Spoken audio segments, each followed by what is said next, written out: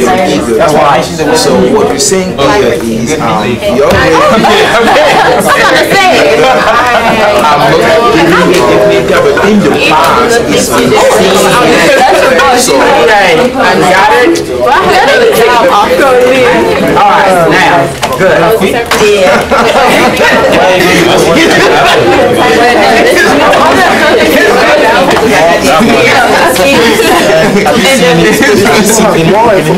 more information than we thought. This was fun. You quit, huh? You heard the song, make this job and shut it It's just. Okay. uh,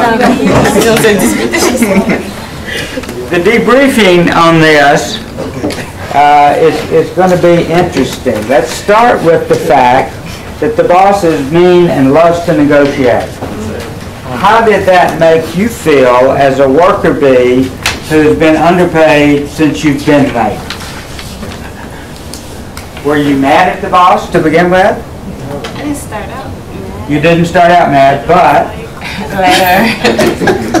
I kind of, I mean, I got a little. Yeah, no, no racism.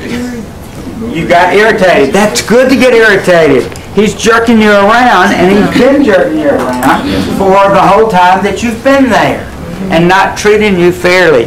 You're doing a comparable job to what the other folks are.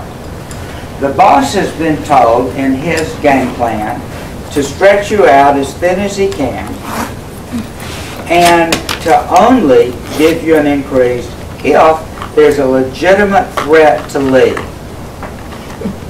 If you feel that there's a legitimate threat to leave from the bosses, then you're supposed to give whatever salary it takes to keep the person there, up to the full 15 to bring them up with their peers. All right, let's see how good, with that background, you people were as employees to negotiate this raise when you had fairness on your side, you were a competent person, the boss was not supposed to give in easily, but to give in if need be. So let's have a quick shot up here on the front of what you got as the employee. All of you come to the board and, and just put the baseline of what you got and whether it was a step increase or what. Let's go ahead and do this to 12 of you. And if you didn't reach a deal, just write no deal. Fired. Fired. You were not fired, they couldn't fire you. I think we can get about six of us up there at a time. And then the others.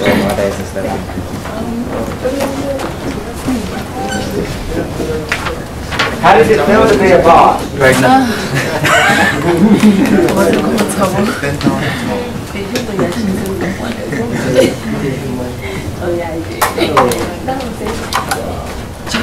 you finish writing what you got, uh,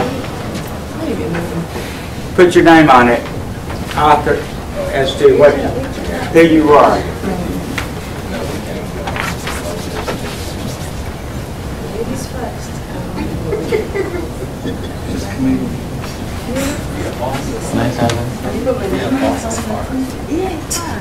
Nine baby, yeah. You gave him that? I give him my You gave him that? I gave him four. I give him four Right here.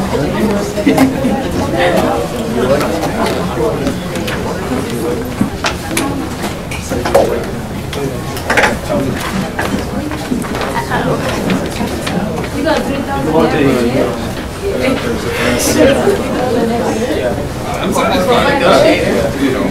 Thank you. Mommy, no deal.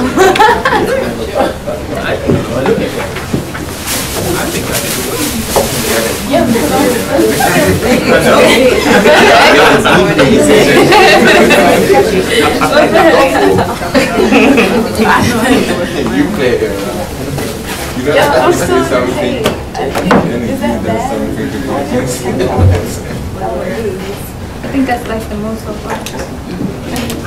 I think that's like the most so far. Well, Christina's pretty good. Over five years. Yeah, 'cause I was like, am I gonna be able to get promoted? That's just to shut you up. Oh, right, because if you're gonna get oh, And I get five bonuses hundred for this this year, Then I, I, yeah, I got three thousand. I mean, I don't wanna like go. With three months to get Six months. Oh. Every six months for three years. Every six months. Oh, that's six thousand. two thousand a year.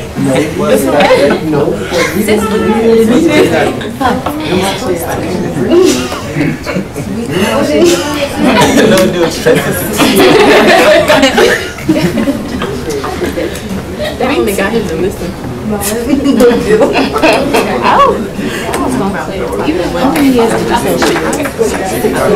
That's what that's up In the past, where they promoted enterprise. No, you, you say that his advantage you have is the nose that's open. It's a way different from ten thousand. So I should match it. I don't know, they didn't. That's smart. You see, she came from. Who's who's down here? Name? Oh, they can, they can negotiate. Here we don't negotiate. Oh, then she said she would leave. Of course. He oh, said, Oh, yeah, that sounds terrible. I'm coming to you. I'm leaving, I'm going to his company. You didn't say, you didn't say how much. It's just, it's just possible. Yeah. There is, there is no number, it's a possibility.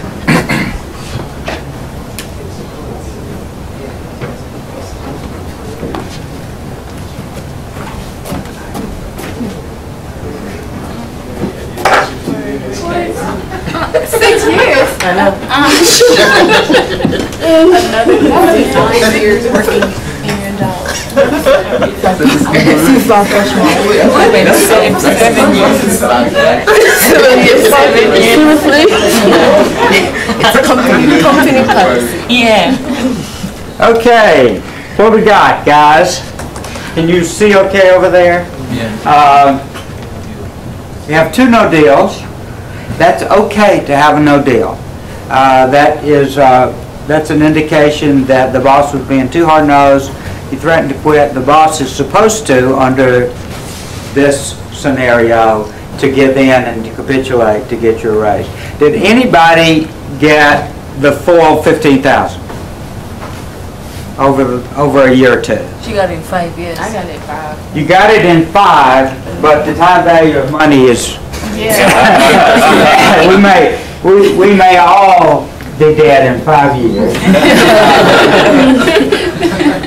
Got the fifteen, uh, bonuses for great, uh, here's a good raise, six to eight thousand in ninety days, uh, based on good numbers. And, and you, you know you're gonna get the numbers, because you've been getting them. Uh, so that's a good job there. Uh, those of you that got, what, what is this one? Thousand every six months for three years. Rachel, you could have done, that's six, Six thousand and six. six thousand over three years, right? Over time. Uh, two thousand and five percent raises, what does that come out to? The Uh, five- That's gonna be like, uh, it's gonna be forty-two thousand and plus five percent increase every year. So the base salary will increase by two thousand. Okay, another couple of grand a year. And then we add five percent. Okay. Now, employees, you're making not much money compared to your peers that you're doing the same job with. Is that fair? Okay. What, what, do do you all think, employees, that you negotiated yourself into a position where you're going to feel good about going to work for the next three years? Raise your hand if you think you're going to feel, that you got enough, that you're going to feel good about going to work there for the next three years. Um, yeah, five thousand a year for two years. So 10, you're still going to be 5,000 below your peers. Because every year, they're going to be Oh, right, getting, they're gonna get more. they're going to be getting more, they're not going to be stable. Uh, You, you felt good about it? Yes, um, what I did was that, you know, the, the, the question says I'm not as old as the other managers. Why not? Well, I thought it's um, in here. Experience. Yeah, the experience wise. Your experience is not the same, but your, your competency, your scores are good, as good as they are. So aside the, the first um, 3,500, I'm getting a possible range 6,000 to 8,000. Yeah, if my figures are still Right. just three months, so. okay. So I think you, did- you negotiated a good job. I think most of you all could have negotiated harder and gotten to the point where you feel comfortable. You noted on the sheets that I asked you to complete at the end of it is, do you think the relationship between you and your boss is going to be better or worse after this session? Uh, I'm assuming most of you on this side of the table put worse. If you, if you didn't put worse and you didn't get much money, then, uh, you're kind of wimpy. How would you So I'm trying to, I'm trying I to. let you We've got- We've got it somewhere here. What else do, we- what did we learn from this exercise? What did we learn about the process of negotiating a raise? It's hard. It's hard. Who has the power? You or you? The boss? Boss has the power, they have to check, right? But you have power because he doesn't want to lose a great worker. You all didn't believe that you were, that you had any power. For those of you that believed it, you could, you could push it on. Put a hand back there. Well, I was just gonna say uh, leverage, because she kept leveraging her position with another company. And I think that's good. That's, that's her power. And if she doesn't threaten the leverage, then it's no good. If you've got it but don't use it, the other side's not going to really understand it. Okay. Yes? At what point do we know that the threat is an empty threat? That's in your gut. Because It's it's in your gut.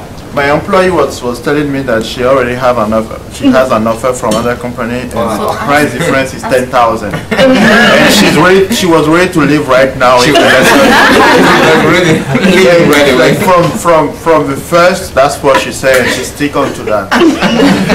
And you still didn't give her any money? I did, and give her five thousand now, and then I say in two years we'll see how it's will go, and then I will create again. But I try to show her that her living, she, if she, she, she lives here and go to another company, maybe it's a risky move, and she may be fired after three months. Right. And, if she, and she said that that's fine, that she will not be. Yes? Now, could you have, if, let's say for instance, if it's if Julius, and I was prepared for him to say that, and my response would have been, show me what they're offering you. Okay. Because I, he's trying to call my bluff, Right. and I'm gonna call his bluff. Well, he doesn't have a bluff yet. He's got a threat, but he's bluffing. So mm-hmm. you, you're legitimate to call the bluff, mm-hmm. and he's legitimate to play the bluff, mm-hmm. but at some point, if you play a bluff, you gotta be willing to follow up, or else you lose Exactly. credibility. Exactly. So, uh, I have always felt as a lawyer uh, that bluffing is not a technique I felt comfortable with unless I was, if I was absolutely willing to follow through with it, it's not a bluff. A bluff is when it's an empty threat, like you, you phrased it, an empty threat. That's an empty threat, and if you get called on it, you look like an idiot. So I, I don't like looking like an idiot, so I rarely would bluff. I would say things like, well, you know, it is a good job market out there these days, and uh, I feel comfortable that with my skill set, that I can find something that's comparable. And that's not a bluff, that's, that's a statement of fact. But if you say you already have a job when you don't, um, that's a bluff. And some people feel comfortable bluffing. Some people negotiate in that fashion. It seems to me that, that you run the risk of losing all credibility within that organization if you have an empty threat. Because the boss is going to talk to his or her peers about the same thing. Okay, what we've got now is about a 10 minute, I guess, vignette of a guy who's asked, doing this exact same thing that you all were just doing. We'll see what, what he achieves with a, a boss that doesn't want to give him a raise. It's about a 10-minute vignette, then we'll stop, then we'll take a short break, and then we've got another good exercise too. If I can make the machine work, we'll start.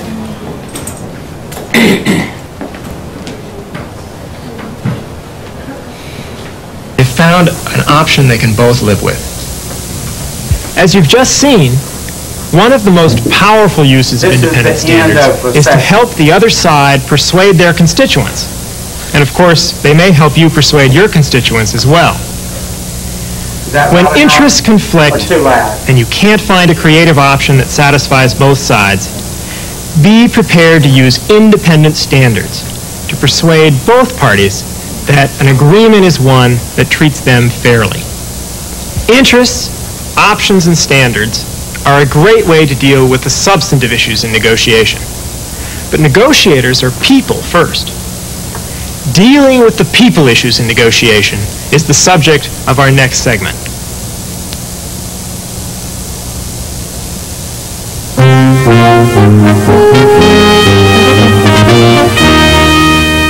Segment 4 People. constantly in a negotiation, you're trying to focus on the problem, you're trying to look at the interests or the options or the standards, and the people get in the way. Their emotions, their egos, their different ways of seeing things, their communication patterns. Constantly, you're focusing on the problem, the people get in the way. People make two assumptions. Either they assume that, look, I've got to be soft on the people. I need this relationship. And that means being soft on the problem, giving in, making concessions. Or they make the opposite assumption. I've got to be hard on the problem. I need to get this. I need to get this for my organization or for myself. If that means being hard on the people, well, that's, that's real life. We're in the world of business. We're not holding hands. What we find successful negotiators doing is rejecting both those assumptions. What they do is they separate the people from the problem, almost like drawing a line in their heads between the person and the problem, in order then to simultaneously be soft on the people, hard on the problem. In fact, the harder you need to be on the problem, the softer you need to be on the person if the person is not going to get in the way of dealing with the problem. First part about emotions, I think, is to be aware of your own, be sensitive to where they are, feel them, and then be sensitive to the emotions of the other party. Try to acknowledge them, see if you can't understand how they're feeling. We sometimes think we're taught as children it's naughty to be angry. It's nothing wrong with feeling anger. It's like feeling hot or feeling cold. It's a feeling. How you deal with anger is something else. That's. People have a tendency to believe that it, when they disagree about w- something in negotiation, one side has to be right or the other side, and somebody has to be wrong. Usually that's not true. If people feel strongly about an issue, it's much more likely that they have facts you don't have, that they see the situation in a different way, which is perhaps partially valid, perhaps even as valid as the way that you see it before you get into a, a heated argument back and forth about who's right, it's better to say, how do they see it? Is there some piece of what they see that if I knew would make a difference to me? So what I've heard are there emotion problems as people problems. There are problems of perception, the fact that people see things differently. Right. And the third category is communication problems. Most people think of communication as my telling you. We think of the communication industry as broadcasting. Great communicators are people who talk and tell people things. I would say if communication is the problem, half of the problem is listening. In fact, the more important half is listening. Because unless I hear you, unless I understand where your head is, what you're thinking and feeling, I'm shooting it in the dark. I don't know what. So listen, active listening. Listening, acknowledging your feelings, acknowledging the other side's feelings, putting yourself in the other side's shoes, none of them involve making a concession to the other side. We deal with, the key point is to deal with people problems with people techniques and then deal with the problem on its merits. In the next negotiation, John Nathan is being asked for a raise by a talented young associate of his. John wants to avoid the raise. In fact, he wants to avoid discussing the problem by threatening the relationship, by indicating the relationship is at stake. He is deliberately, although maybe not consciously, mixing up the relationship with the substance. And Tim, asking for the raise, is fairly good in saying that the amount of the raise should not depend on the quality of the relationship. Let's watch. I've been here for 18 months. I've been working really hard. I came to this firm because I value your advice and what you've taught me so much. And I think that now I'm looking around, I'm seeing other people in the firm coming in, hiring laterally at higher salaries than I'm getting. I'm wondering perhaps, you know, is there a reason for this? Is there a reason that I'm not being paid comparably to other people in my position? No, I, I, I hear what you're uh, saying. You know that we're flying still a little low to the ground. We're trying to take this thing up to the 40,000 feet we think we ought to be flying at. You're doing uh, a lot to help us get there. But you and I, you know, we haven't been, we haven't talked money much. We, we knew coming in that we um, didn't have a lot of money to spend uh, except on the projects and on the stuff that we're doing that are making us feel like we're contributing to something, making a difference out there. Um, m- money brought up between us at this time just seems inappropriate somehow. I'm uncomfortable about it. In what way? I'm sorry. Is there... You know, I began by saying I'm proud of you, and I did feel corny about it. I mean, I do feel like your uncle or your dad. I mean, I brought you along. I think, I, I, I think you'd say that you've learned quite a bit from my Absolutely. If I in any way implied that the relationship was not important to me or was not the most valuable thing, I am sorry about that. It is, I've learned so much from you, and it's something that no matter where I work or whatever I do, what I learned from you is going to be so important to me. But I think we need to separate that, that somehow our working relationship and the work I do for this firm needs to be looked at separately. And my salary requests are really for what I think I can contribute to the work of this firm. Okay, so you just want to talk money, basically. Yes, money in terms of what I can do for the company, what I can No, I understand. I mean, I talk money to people all day long. You heard me talk money. I, I, half of the business is talking money. That's the, the part of the business you know that I like least. Um, the part of the business I like most is what we do together. Um, fine. Uh, we're going to become merchants, basically, for the next 10 minutes and have a conversation about dollars and cents. Is that what you're asking me to do? I don't know if I would use the word merchants in the sense Well, it's a haggle, basically. It's a haggle. You could be a fishmonger, I could be a housewife. I, I even haggle, I don't like the word haggle that much either. I think what I would like to do is to say, yes, I'm very committed to this company. I would like to see on a work-based relationship something that is comparable salary-wise. And I don't want to bring in our relationship and the reasons I came to this firm, what I've learned from you, as combined as to to keep them separate. Okay, how much do you want? Well, I look at the other people you've brought in recently who are in my position, who are ha- laterally hired, who are about $40,000, and that's the reason I think is fair for the work I do. You're being paid $32,000 now, Tim. Thirty-two-five. Mm-hmm. And you're asking for a $7,500 raise now. Listen carefully. Right. I need to hear one thing clearly from you. Are we in ultimatum mode here? Are you saying, pay me the $40,000, give me the $7,500 raise today, or I'm gone, I'm out of here, I'm up the next step on the ladder? Is that where we are? Absolutely not. John, I would never leave you today. I would never walk out on you. That is something that I just would not do, and purely because we value our friendship so much, I would never do anything like that to you. All I want is to be treated fairly. All I ask is that I be treated for my work the same way anyone else in your firm is treated. Tim was good there. It's amazing. Every time John would bring something up, he'd, he'd reaffirm to John how much the relationship meant, and then say, but how much I'm paid is just a question of what's fair in the office. I don't want to feel ripped off. It's almost like when someone says, "Trust me." That's right. You should answer, "Of course I trust you." And common business practice would suggest that I run this by my lawyer. Now let's watch a negotiation between Okay. Were you as good as Tim? Front row, front row people? Uh, What, what did Tim say when he asked him, are you, are you out of here today? What was Tim's response?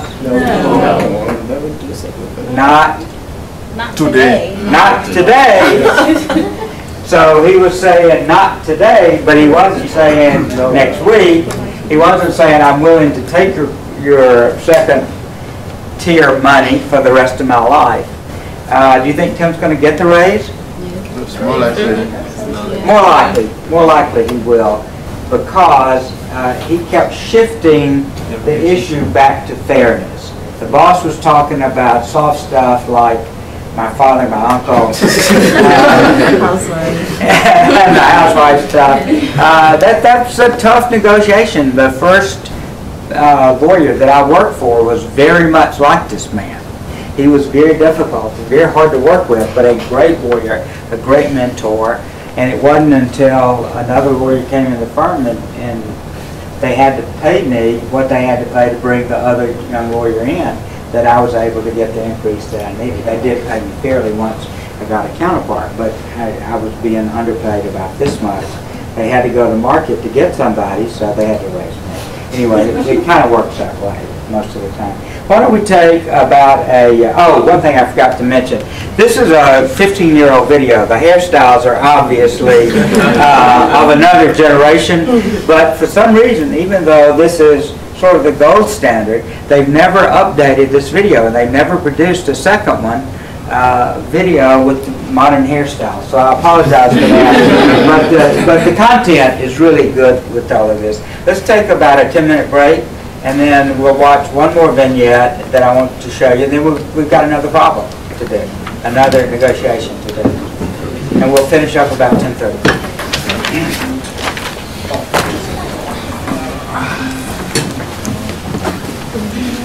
I serve you guys coffee?